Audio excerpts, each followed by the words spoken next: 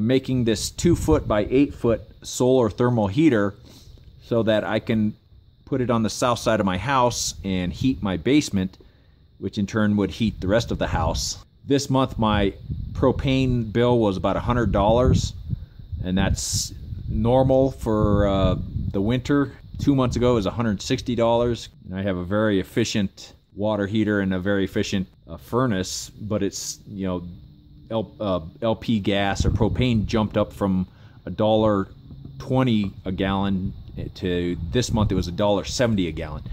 So for about 200 and 220 to 250 dollars in materials, I'm building this, which will heat my basement passively and hopefully uh, reduce my heating bills because my basement normally stays around 60 degrees even without the furnace turned on.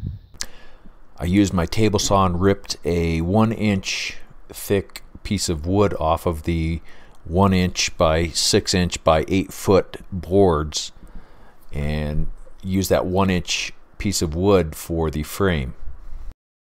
I was able to cut the aluminum screen quite easily using shears from Harbor Freight and dragging one blade of the shears across the screen up against a straight edge. I then stapled the screen to the frame using a staple gun and putting staples about every six inches. And here I have it, the box portion of it made up.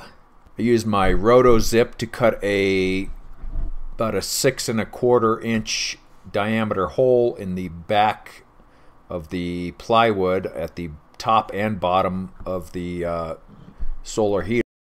Then I use just regular 100% silicone caulking for the sealing of the uh, the ducting and the sealing of the wood.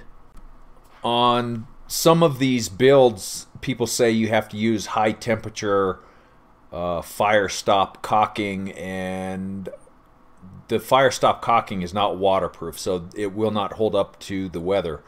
This 100% silicone, the service temperature is negative 60 degrees Fahrenheit to 400 degrees Fahrenheit. And this solar heater will never get to 400 degrees. So this silicone caulking, just regular white silicone caulking, will work perfectly for this application. Then I put a 15 pound weight on the flange of the six inch ducting and let the uh, silicone cure. And there's a six inch ducting that protrudes through the back of the solar heater on the top and the bottom, which will provide an inlet and an outlet for the air. I then cut the polyisocyanurate insulation foam, which is used in high temperature applications, and this foam doesn't melt.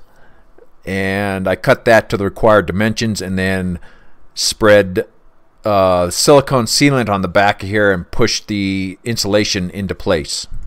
To cut the polyisocyanurate insulation, I used a snap-off blade uh, knife extended all the way. This is a knife you can buy just about anywhere, the kind that you can break the blade off or snap the blade off when it gets dull. I then cut the polyiso insulation for the tops and the sides and used silicone sealant to secure that foam to the wood box. Here's the polyiso insulation secured in place with the silicone sealant on the back and the sides. I then went around the perimeter of the solar heater and sealed up any joints with the HVAC foil tape. I just spray painted this with a high heat flat black Rust-Oleum spray paint. Here's a uh, thermal scanner. We'll see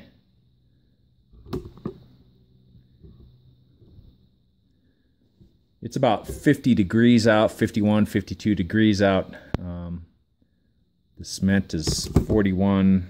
So test out here where it's sunny. So in the sun, where the cement has been sitting in the sun, it's about 47 degrees. So I moved this outside and within 30 seconds of me moving it outside, the surface is already in the 90s. 97. 101. And it is three o'clock in the afternoon. And this thing without any window over it or shielding over it is already 114 degrees. This is uh, two coats of that high heat flat black. So I can imagine how hot this thing would get if I put the uh, clear polycarbonate roofing on this. 118 degrees, 119. Then siliconed in place these Tuftex square closures for the ends of the solar heater to seal up the gaps that are in the uh, polycarbonate roofing material because it's corrugated. I mixed up a mixture of 50% water and 50% isopropyl alcohol and sprayed it on the clear uh, polycarbonate roofing material and used a paper towel to get any dust and uh, debris.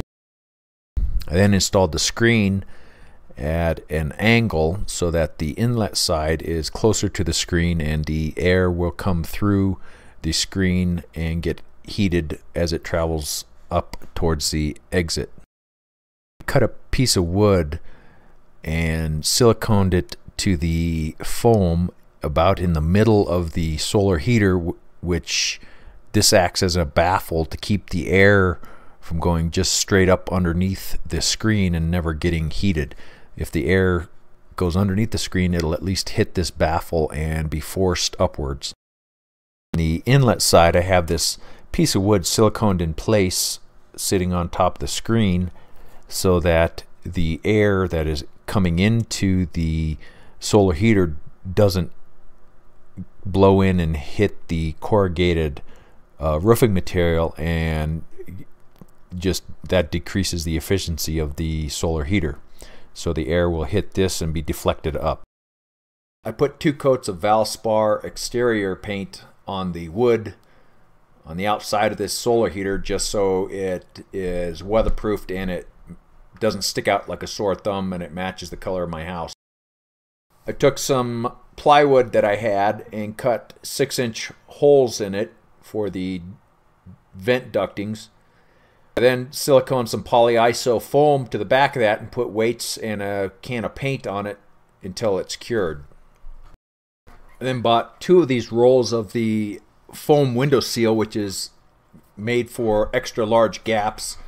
This is a half inch thick by three quarters of an inch wide.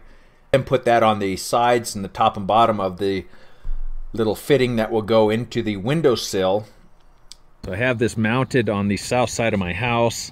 I have two fence posts that I drove into the ground with a post driver and I plan to secure this on the sides using two conduit straps right here. So the air coming out of this thing is around 180 degrees. It's about 1.30 in the afternoon and about the high 40s right now. But uh, almost 190. So when I add a fan in here, it'll uh, decrease the internal temperatures. I attached the six inch diameter flexible ducting, which is insulated. I believe this is an R8 insulation. One goes from the inlet, goes up, and then there's another one that comes down to the outlet. So I have a computer fan hooked up. This pushes about 53 cubic foot per minute hooked up to a 12 volt battery. This fan will run off of 0.96 watts. I plan to get a 5 watt solar panel and run it off of that. So now it's in the 120s. It's 307 on December 28th. So the sun is already starting to go down. You can see the airflow I can imagine how hot this thing will get in the late morning or the uh, mid-afternoon. Because it's in the late afternoon, it's still 120 some degrees.